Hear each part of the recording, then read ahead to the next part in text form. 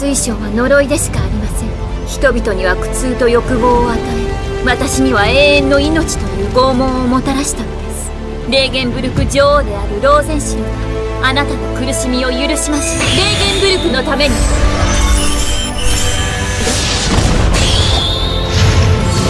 水晶帝国の敵を倒すのです。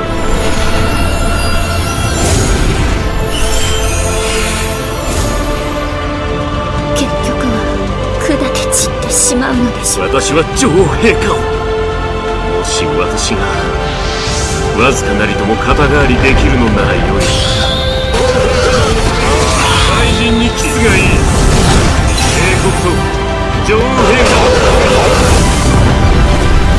この力素晴らしい。よろしければ一緒に庭園でも散歩いたしませんか？私の行いを陛下が喜んでくださっているのか。